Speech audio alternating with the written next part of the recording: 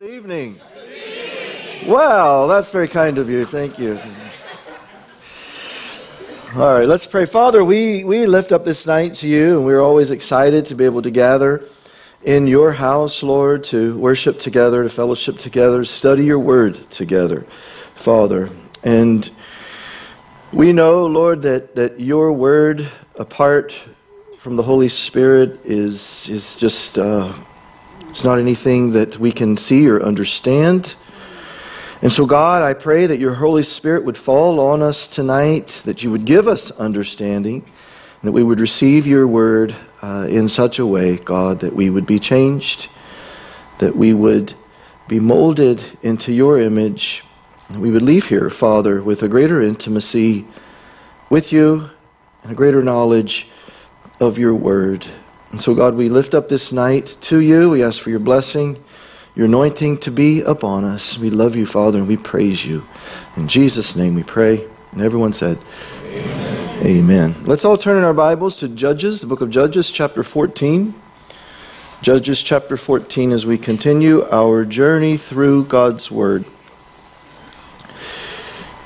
Israel has continued on this cycle of, of being obedient for a while and, and experiencing the blessings of God, and then they go back to being disobedient and, and, and rebelling, uh, rebelling against God. And, and when we left off, as a consequence of that rebellion, uh, we saw where God had allowed Israel to be extremely oppressed by the Philistines, uh, their arch enemy. And they were oppressed by the Philistines for a period of 40 years.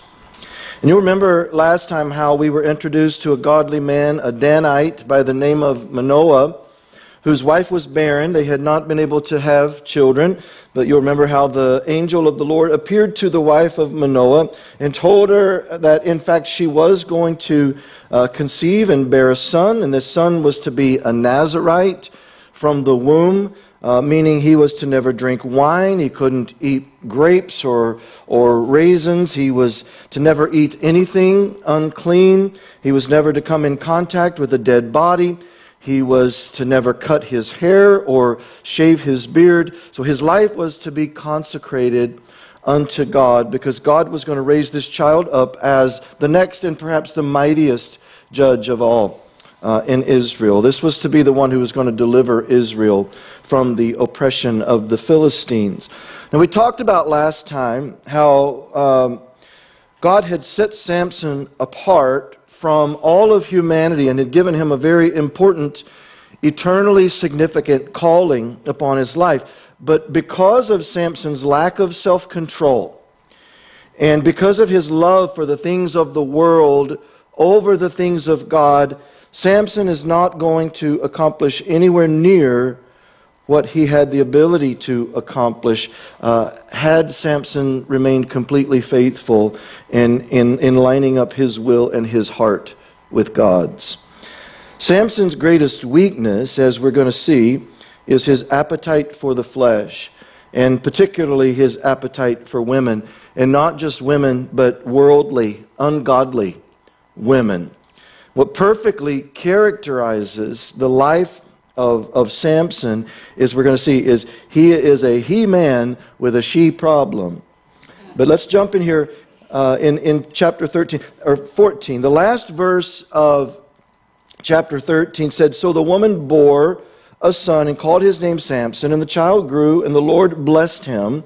And the Spirit of the Lord began to move upon him at Mahaneh-dan between Zorah and Eshtaol. And so Samson is a young man now at this point. God is with him, God is blessing him. And it says, verse 1 Now Samson went down to Timnah, a place where he had no business being, uh, because Timnah is in the land of the Philistines. You and I, I guarantee you, most of our past failures can be traced back to us being in a place where we ought not be. And it says, while he was there, he saw a woman in Timnah of the daughters of the Philistines. And the very first action, the very first words that come out of Samson's mouth that are recorded for us in the Bible are going to be in defiance of God's word and God's plan for Samson's life. He saw a woman not among God's people, not among his people, a woman of the world, a pagan, that he was very attracted to. Deuteronomy chapter 7, verses 2 and 3, and this is speaking of the inhabitants of Canaan. God says that when you when the Lord your God delivers you or sorry, when the Lord your God delivers them over to you, speaking of the inhabitants of Canaan, you shall conquer them and utterly destroy them. You shall make no covenant with them, nor show mercy to them, nor shall you make marriages with them. You shall not give your daughters to their son, nor take their daughters for your son. In those days, all marriages were arranged by the parents, and, and, and even though God had said, You shall not intermarry with pagans, Samson didn't care. Here's a man who's not only a Jew, part of God's chosen people, he's a judge. He's a man who is sworn to uphold a Nazarite vow. He's a man who God literally set apart for the purpose of delivering Israel from the oppression of the Philistines. And now he's not just fraternizing with the enemy, he's seeking to become one of them. And so he went up, verse 2. Notice he didn't request or, or inquire of his parents. He went and told his father and mother, disrespecting and dishonoring them. He told them, saying, I have seen a woman in Timnah of the daughters of the Philistines. And man, it was, it was love at first sight. Dad, you're not going to believe it. Red flag. Be careful. Now, I believe in love at first sight. If, and it's a big if, if God is involved. And God, He does that sometimes. But God will never be involved in putting someone in front of you for the purpose of pursuing a relationship with them if that other person is not already a member of God's own people. God loves you too much to ask you to be involved in missionary dating. And so we see the same thread being uh, woven throughout all of Scripture. In the Old Testament, it's you shall not intermarry. God was trying to preserve an uncompromised, undefiled bloodline that he had already promised was going to bring forth the Messiah. In the New Testament, 2 Corinthians 6:14, Paul says, "Do not be unequally yoked together with unbelievers." And he tells us why, "For what fellowship has righteousness with lawlessness, and what communion has light with darkness?" And, and in relation to marriage, just like it is impossible for light and dark to occupy the same space, when you have one spouse who is a follower of Christ and the other one who is a follower of the world or a follower of anything else other than Christ, how do righteousness and lawlessness reside in the same home without there being a constant struggle related to how the home is governed?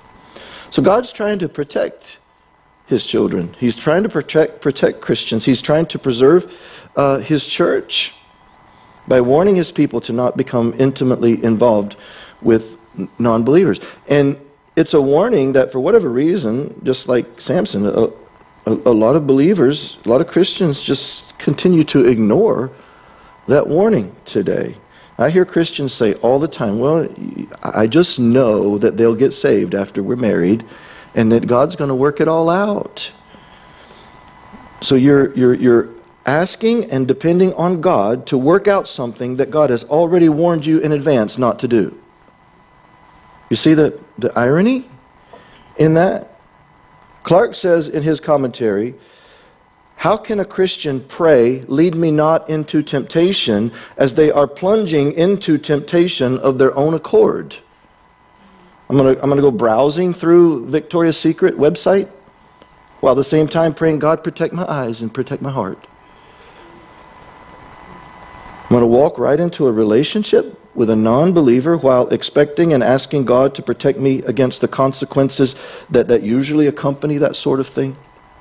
It's a self defeating way of, of thinking, even if I believe that I can be a strong influence on this other person's life.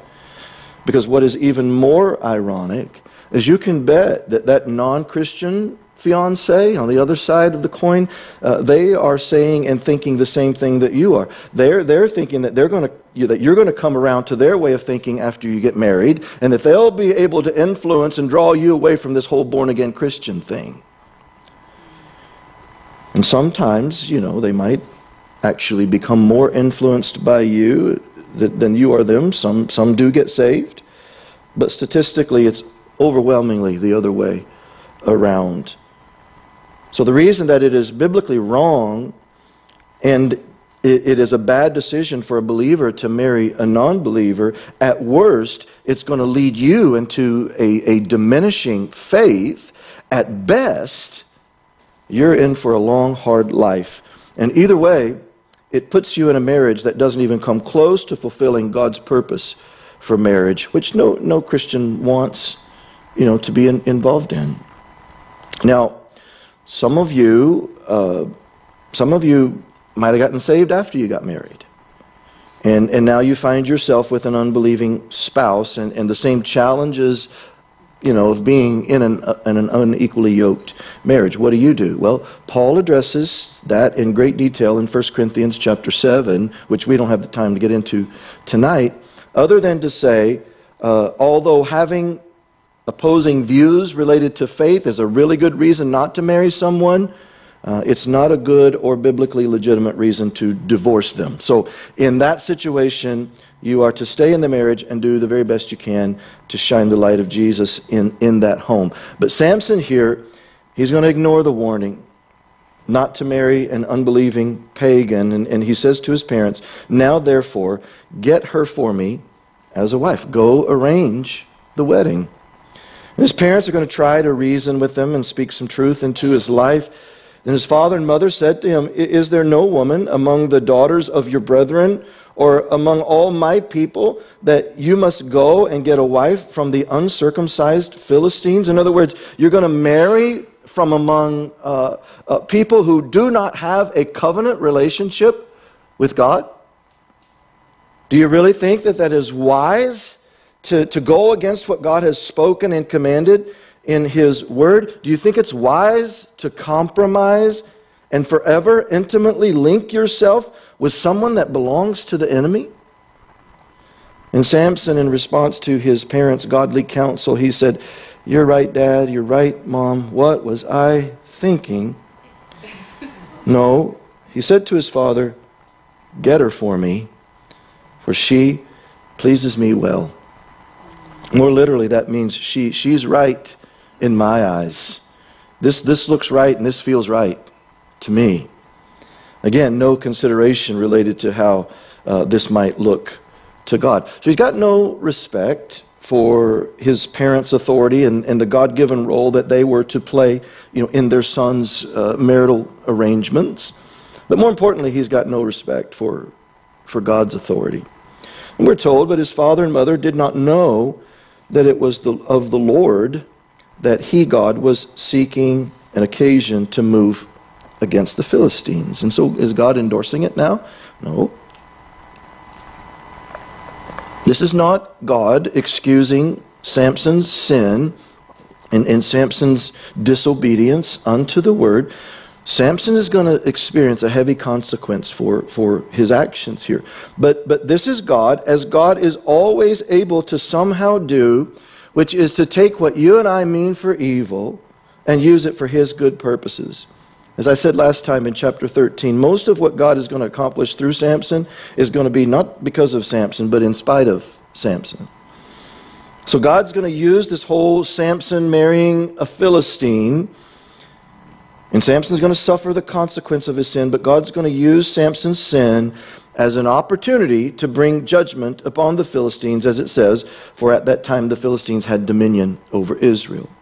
Now, it's comforting to know that God can come and clean up my messes, and, and you know, he, He's not going to let me get in His way related to His plan and that, and that God can and does use our failures and our messes for His good purposes. I, I just wouldn't suggest personally getting too comfortable in that.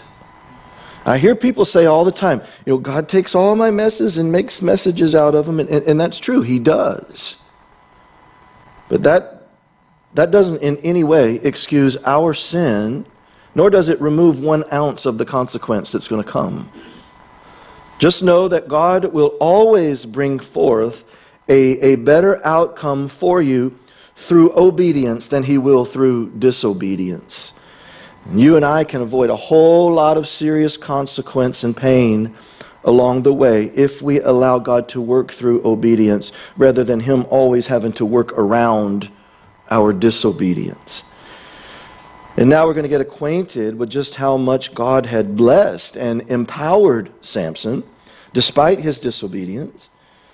God only knows what Samson could have accomplished had he not uh, been so frivolous with his calling and his anointing. As we saw last week, it says Samson is going to begin to uh, remove the oppression of the Philistines uh, I, fully believe that God had intended that He would settle that matter uh, once and for all, but God's going to have to call on uh, people later on, namely David, you know, to come along and actually uh, put away the, the Philistines once and for all. And so Samson went down to Timnah with his father and mother and came to the vineyards of Timnah. Again, what in the world would a person who is called to such a level of holiness that he's, he's to stay far away from wine? and that he's not even to come into contact with a grape. So, what in the world is he doing walking through a vineyard?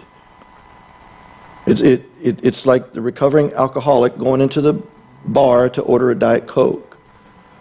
There, there, there is enough temptation that's going to come my way when I am walking the straight and narrow path. And so, to be putting myself in places and situations where the temptation is going to be ramped up and, and magnified is just spiritual stupidity. The Bible says that we are to flee temptation. Samson just keeps inviting temptation, he keeps flirting with it. He keeps playing fast and loose with his walk by constantly situating himself in places that he should not be. And every single time that you and I find ourselves in a place where we ought not be, let me enlighten you. Who else will always be there with you, lurking and prowling in the bushes, ready to pounce? That roaring lion, that roaring lion seeking whom he may devour. So Samson is walking along through a vineyard, and now to his surprise, a young lion came roaring against him. And, as we see, even through his stupidity and spiritual carelessness, the grace of God comes along and intervenes. And it says, And the Spirit of the Lord came mightily upon him. And this is a picture of how we have the Holy Spirit power available to us in times of, of, of temptation. Even when we've made a bad decision and find ourselves in a place where we ought not be.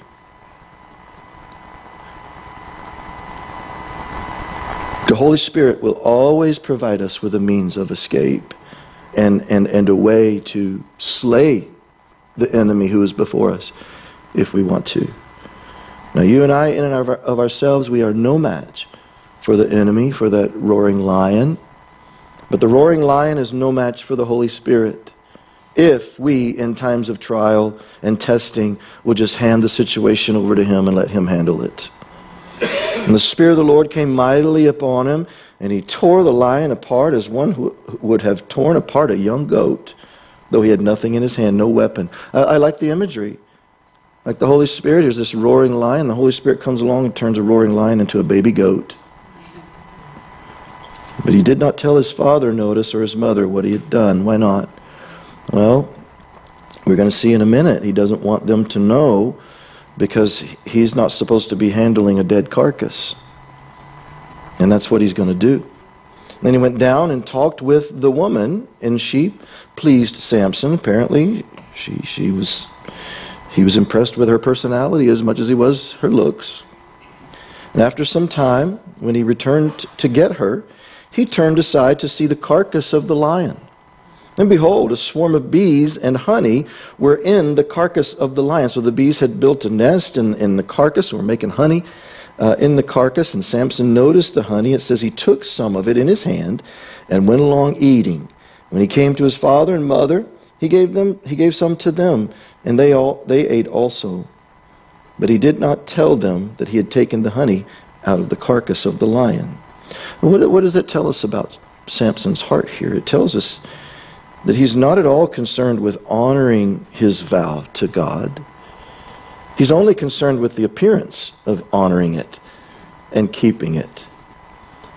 Being a true Nazarite before God was not important to him, while the perception of at least appearing to be holy was. His consecration to God was, was superficial, it was external. And notice, this is important.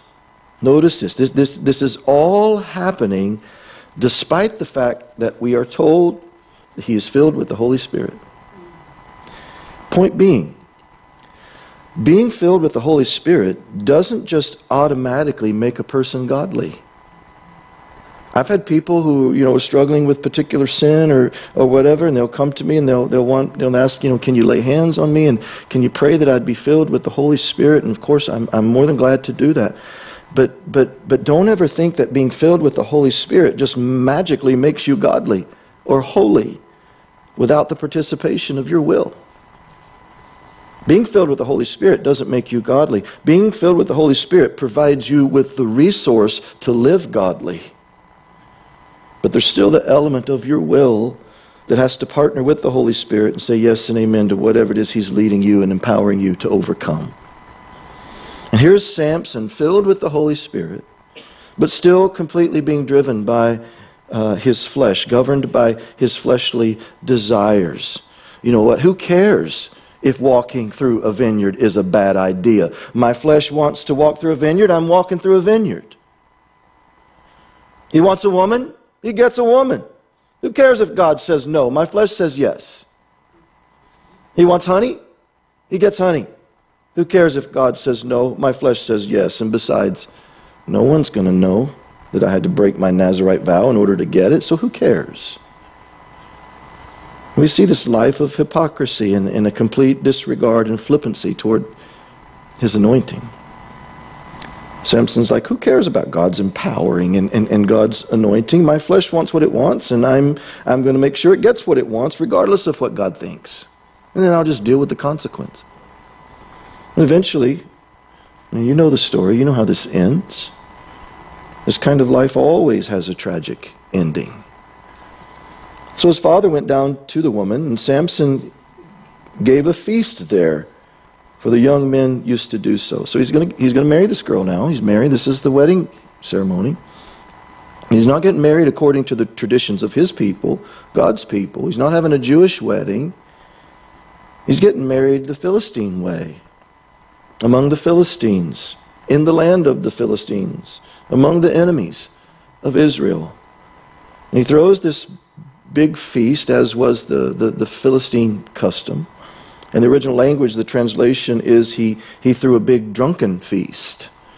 And it doesn't say that he himself drank, but, but still, you sit back and you think, what are you doing?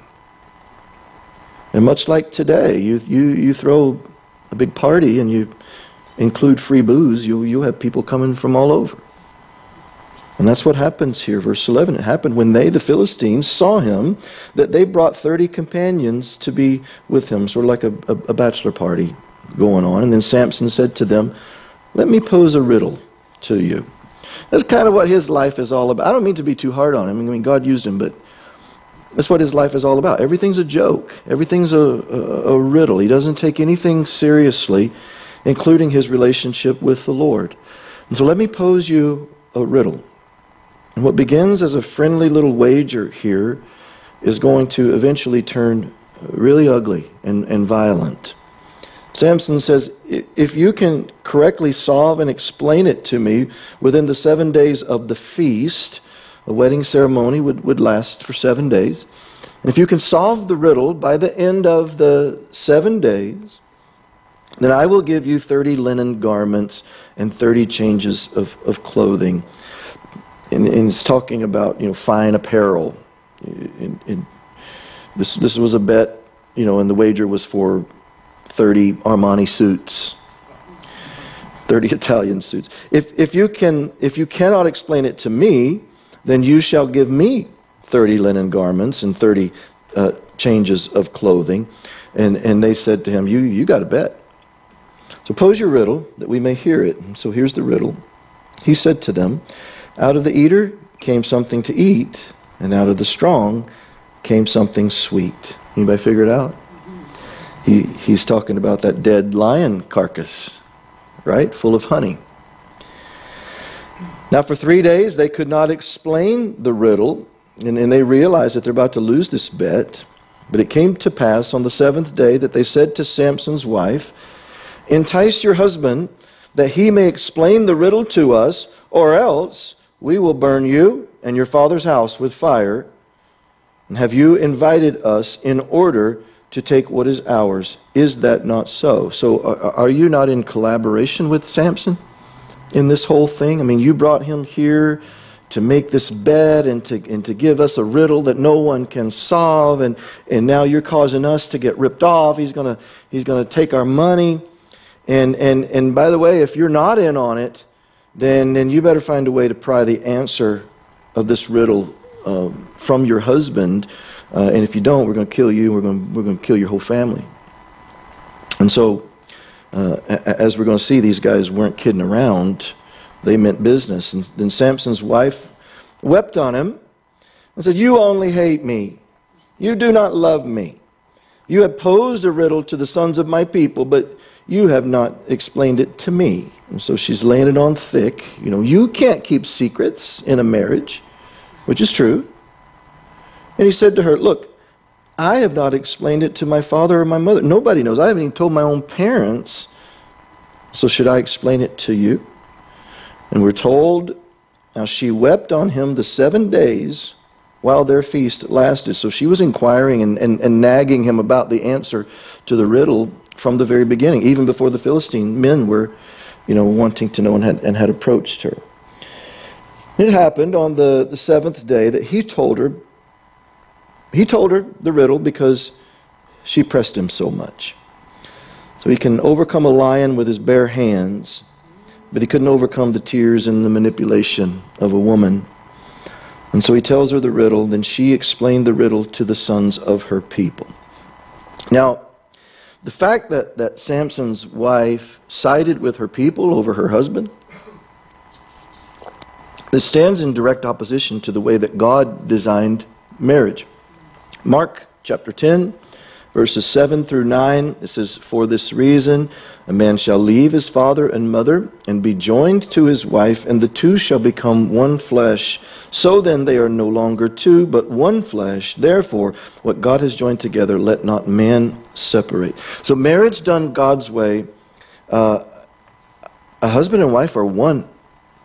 And, and, and, and there's no one, not even parents or children, are to be given equal preeminence in, in, in that marriage, in that relationship. God says we are to forsake all others and, and we are to leave and cleave, which again is the very reason that Samson should not have married a Philistine woman in the first place. How can you expect your spouse to operate in his or her uh, given role in, in a godly marriage if they don't believe in or so, serve your God in the first place?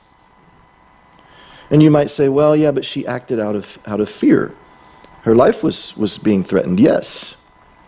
But she's married to the strongest man in the world. She's married to a man who kills lions like they are baby goats. And I think she could have just leveled with Samson. She could have just told him what was going on with these men threatening her and her family, and I think Samson could have handled it. At the same time, Samson was wrong for keeping secrets. And there was a lack of trust on, on both parts because they are unequally yoked. And neither have sought to live out their marriage according to the designer and, and the creator of, of marriage and how he has ordained it. And so, verse 18 the men of the city said to him on the seventh day before the sun went down, right before the deadline, these 30 Philistine men, they come to Samson, they let him know that they have the answer to this, this riddle. And they, and they say, What is sweeter than honey? And what is stronger than a lion? And so they solved it. And he said, Samson said to them, If you had not plowed with my heifer, you would not have solved my riddle. Now, I'm getting ready this week to start a premarital counseling with a young couple. And on the very first page of the premarital counseling handbook, it says right there never refer to your wife as a heifer.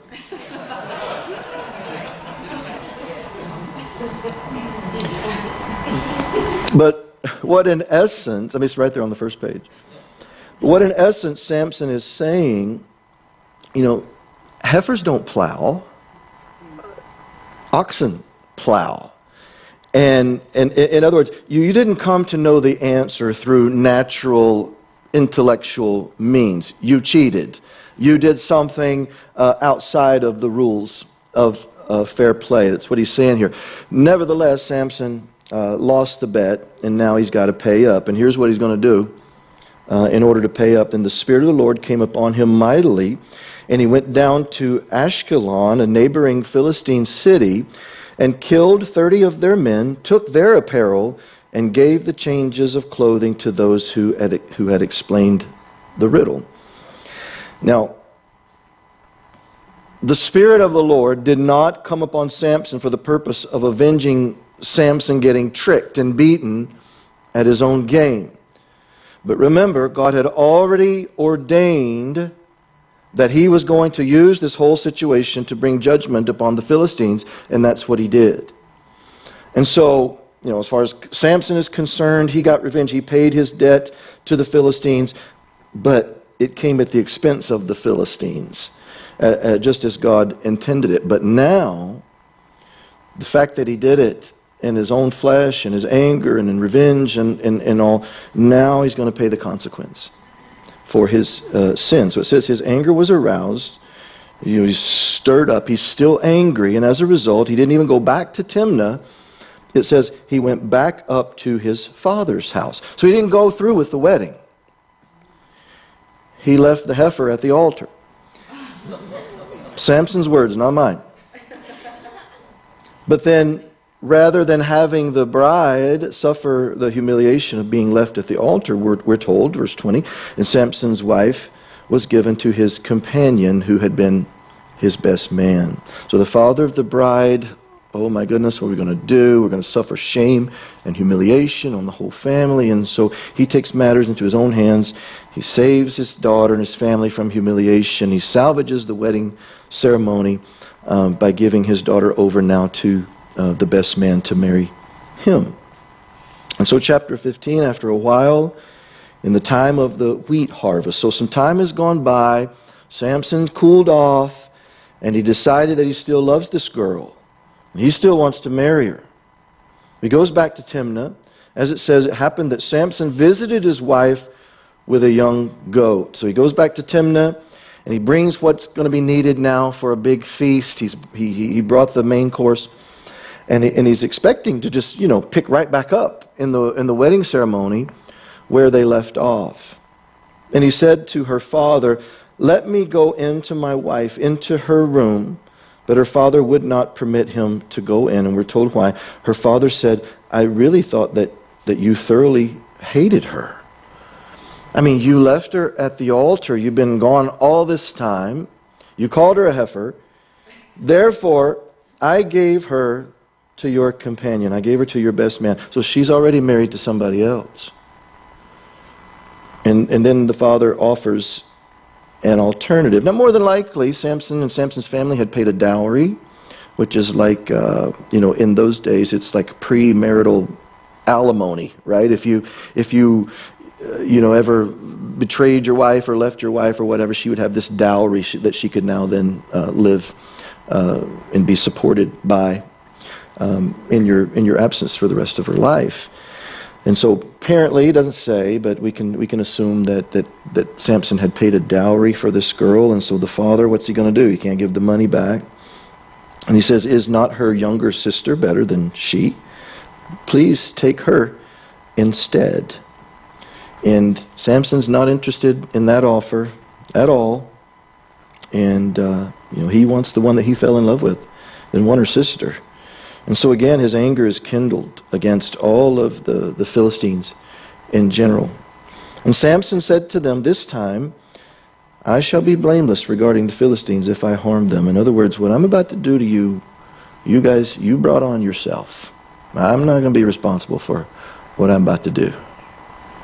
And then Samson went and caught 300 foxes. In the original language, the word for foxes is the same word that's used for jackals, which uh, is, is more than likely to be the case since says he caught 300 and, and jackals are known to, to run in packs of in, in the hundreds. Either way, it's an impressive feat. He caught 300 foxes or jackals or whatever, and he took torches, turned the foxes tail to tail, and put a torch between each pair of tails. And so he took two foxes, turned them back to back, tied their tails together so that when he released them, you know, they would just run aimlessly without any uh, sort of, of direction. So you've got a 150 pair of pairs, pair, 150 pairs, pair of foxes with, with their tails tied together, and then he lights their tails on fire and it says, When he had set the torches on fire, he let the foxes go into the standing grain of the Philistines. And here was the purpose of that. It says it burned up the shocks and the standing grain, as well as the vineyards and olive groves. Now, we were told in verse 1 that it is the time of the harvest. And, and this is how Samson got his revenge upon the Philistines by burning their crops, their, their, their vineyards, their olive groves uh, and, and he did it just as, you know, they're being harvested, just as it's, you know, it's all, uh, they've waited all this time and they've labored and, and uh, you know, now this is the time to cash in and um, now it's all gone. It's just some, something, he did something here that was just very, very devastating to their uh, economy. But don't feel too sorry for the Philistines. They're, they're about to do something far worse in retaliation. Then the Philistines said, Who has done this? And they answered, Samson, the son in law of the Timnite, because he has taken his wife and given her to his, his companion. And as it is with, with ungodly men, violence begets violence. And so the Philistines came up and burned her and her father with fire. I mean, they probably just barricaded the house and the doors and the windows and lit the thing on fire and just burned them alive. And again, God was going to facilitate his plan of bringing down judgment upon the, the, Philistines, whether Samson was obedient or not. But look at what his disobedience has caused. Just to point out, Samson could have avoided a lot of hurt and a lot of consequence simply by allowing to God work through him rather than working in, in spite of him. Samson said to them, Since you would do a thing like this, I mean, he is horrified by, by what they've done, obviously very angry. He says, I will surely take revenge on you, and, and after that I will uh, cease. In, in other words, I'm about to unleash a fury on you guys like you have never seen, and I'm not going to stop until you have paid for what you've done. But again, is God in that? Who does vengeance belong to? Samson should have stopped. He should not have been controlled by his anger. He should have turned this whole thing over to the Lord and even said to the Philistines, I am going to let my God settle the score with you for what you've done. And God was obviously going to use Samson to exercise his judgment upon the Philistines anyway. It's the very purpose he was born. But here again, he's getting ahead of God. He's acting outside of God's will, God's heart. He's reacting totally out of the flesh rather than let, letting himself be directed and guided by the Spirit of God. And so it says he attacked them hip and thigh, which means you know, top to bottom, just up and down. The Philistines suffered great casualties, as it says. He attacked them hip and thigh with great slaughter.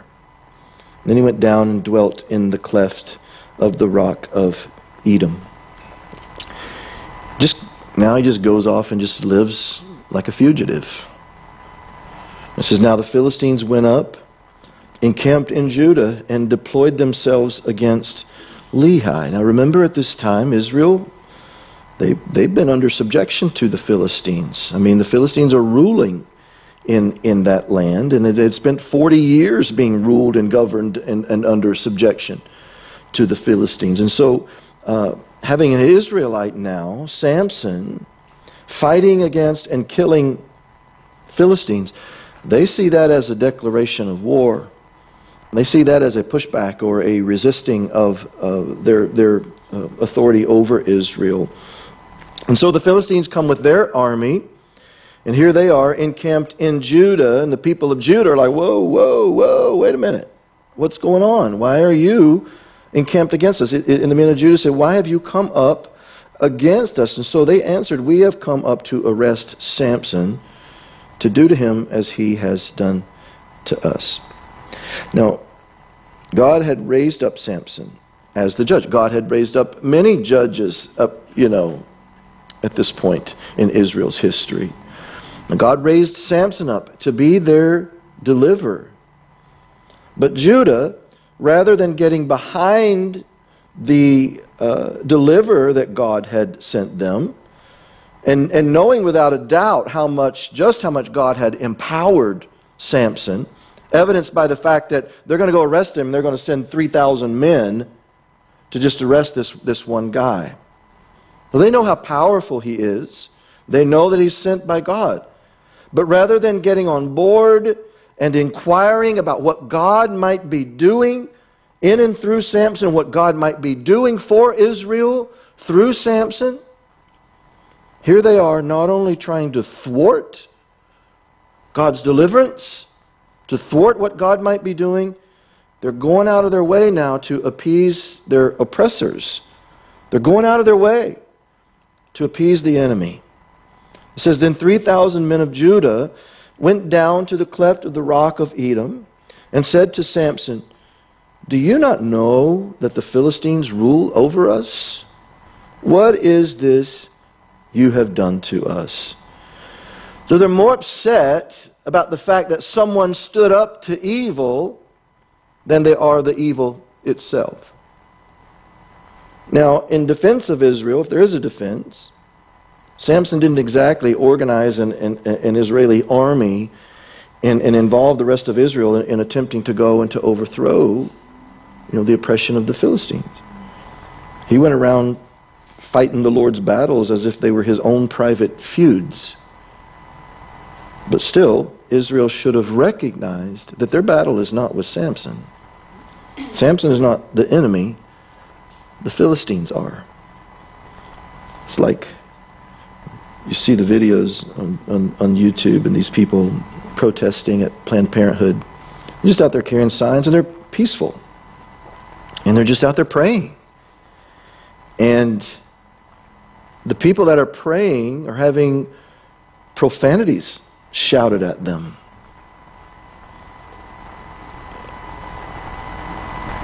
They're just out there trying to defend the innocent.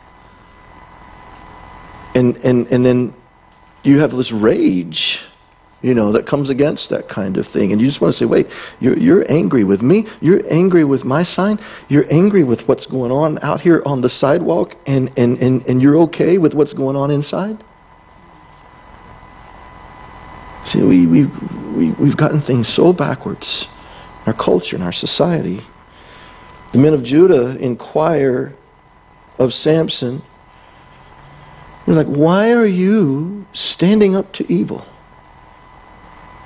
I mean, who told you? Who, who, who, who of us made you boss? Why are you not submitting to oppression just like the rest of us? Why are you not submitting to fear just like the rest of us? Why are you provoking the enemy instead of appeasing the enemy like the rest of us? And he said to them, As they did to me, so I have done to them. They got what they deserved. But they said to him, All right, we have come, we've come down to arrest you, that we may deliver you into the hand of the Philistines.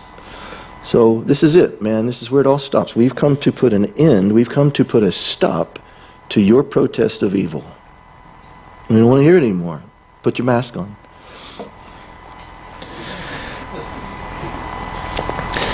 Then Samson said to them, Swear to me that you will not kill me yourselves. I, I don't want to die at the hands of my own countrymen. And so they spoke to him, saying, No, we're not going to kill you. But we will tie you securely and deliver you into their hand, but we will surely not kill you. Now, Samson is submitting to all this, of course. He's, he's, he's submitting willfully because, as we're going to see, this is all part of a plan. It's all part of a plan that's going to facilitate him being able to kill many, many more Philistines. And so they bound him with two new ropes and brought him up from the rock. And when he came to Lehi, the Philistines came shouting against him. You can imagine, here, here he is, right? We've been we've wanting to get our hands on this guy for so long. They're so excited about the fact that now here he is, and he's being delivered to us by his own people, bound by ropes. But we're told, then the Spirit of the Lord came mightily upon him. Uh oh. And the ropes that were on his arms became like flax that is burned with fire and his bonds broke loose from his hands. He just snapped those ropes like they were spaghetti. And he looked and he found a fresh jawbone of a donkey, reached out his hand and took it, and killed a thousand men with it.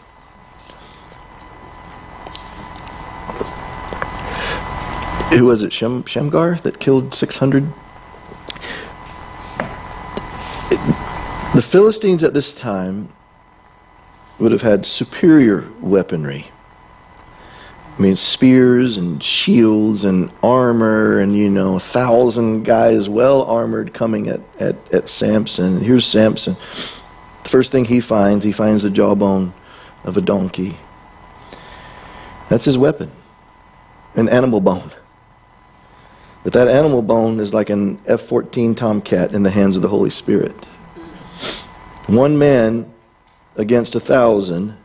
And at the end of it all, the one man is still standing and the thousand are dead because that one man was mightily filled with the Holy Spirit of God. And it doesn't say, but I've often wondered here when I read this, what the, the 3,000 Jewish men who turned Samson over to the Philistines thought when they saw all of this go down. I mean, they had to have been a little bit nervous and changing their tune a little bit. You know, go Samson. Yeah. Good job, brother. then Samson said, he, he's going to toot his own horn here, which God's going to notice. With the jawbone of a donkey, heaps upon heaps, with the jawbone of a donkey, I have slain a thousand men. And so it was when he had finished speaking that he threw the jawbone from his hand and called that place Ramath Lehi, which literally means jawbone hill or, or jawbone heights. And then he became very thirsty, notice. And, and like thirsty to the point of death. And, and God lets that happen Because it's a great reminder of no matter who man is or no matter what man has done on this earth, every man is utterly and completely dependent upon God. You might say, I have done this, I have done that. Be careful. Lest God has to come along and emphatically remind you that you didn't do anything. As I said on Sunday, every, every breath that God allows us to take in this world is an incredible act of mercy on God's part. And Samson's great thirst is going to remind Samson of just that. And it's even going to cause Samson now to come to just kind of reverse and, and now give credit where credit is due related to the slaying of the thousand Philistine soldiers. So many times in, in, in our lives and all throughout Scripture, and you can attest to this, I'm sure but what immediately follows great victories in our lives are great tests. No sooner did Israel cross the Red Sea, man, they're celebrating, they're praising God. No sooner did they crossed the Red Sea than they became thirsty and hungry, and there they are crying out to the Lord. Elijah's victory over the prophets of Baal on, on Mount Carmel. That was immediately followed up by him on the run from, from Queen Jezebel because she'd put a hit out on his life. And there he was, fearing for his life, hungry, thirsty, crying out to God. He just had this unbelievably, incredibly supernatural victory over all of these hundreds of prophets. Slayed them all. Because God knows if our victories aren't perfectly balanced with tests, we like the victories and we don't like the tests. But if God doesn't perfectly balance those things in our lives, then we as humans, we are going to end up robbing God of part or even all of his glory. And he knows it. We're going to end up with a false, unwarranted confidence in ourselves, and we're going to end up with a very inadequate dependency upon God. And so we need to be thankful that God is a God who, who balances those things out in our lives. And interestingly enough, for Samson, this is, this is going to be the first of only two prayers that are recorded for us in the entire 20 years of Samson's judgeship over Israel. So he's thirsty. He's about to die of thirst. So he cried out to the Lord and said, Notice, you have given this great deliverance by the hand of your servant. Not I anymore, you. But what, it, what good is it going to do, God, if I die of thirst now? And now shall I die of thirst and fall into the hand of the uncircumcised. And, and, and God's going to hear, God's going to honor his prayer. And so God split the hollow place that is in Lehi, and water came out, and he drank, and his spirit returned, and he revived. And therefore he called its name En Hakkore, which just, just means the well of him who cried, which is in uh, Lehi, it says, to this day. So he went from praising himself to praising God really, really quickly. God has a way of making us do that when we seek to take any credit uh, for the victory, to claim any part of his glory in our lives. And he, Samson, judged Israel 20 years in the days of the, the, the Philistines. And we'll pick up our study in chapter 16 next time where it, it begins to lay out for us now the, you know, Delilah and the ultimate downfall of Samson. Let's pray.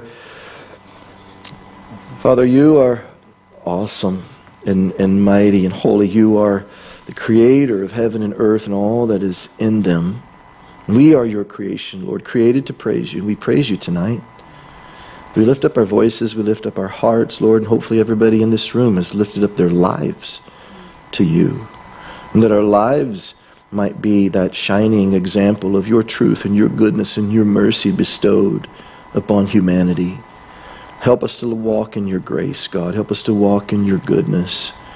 Help us to praise you. Help us to be obedient unto your word. Use us, Lord. Use us in mighty ways, as you did Samson. But may it be, Lord, that we are used according to obedience rather than disobedience, and that we're working with you, Lord, in partnership with you and your spirit, rather than your spirit having to work around us, our flesh, our worldly desires, work around our disobedience unto you. And so, Father, fill us with your Holy Spirit. Fill us afresh. Be with us this night. Bless our families, bless marriages, bless this church, bless this community, and help us, God, to be a bright light. We love you. We praise you. In Jesus' name, amen. If you've never accepted the Lord, if you need prayer, I'd love to pray with you after service uh, this Sunday. We're going to pick up our study in, in uh, the book of Daniel, chapter 6. And so go ahead and be reading forward on that. If you'll all stand with me, we will close.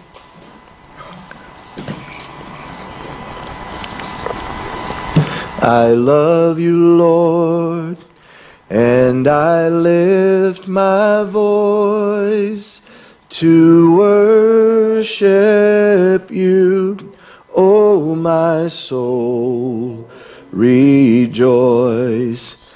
Take joy, my King, in what you hear. May it be a sweet, sweet sound in your ear. God bless you all.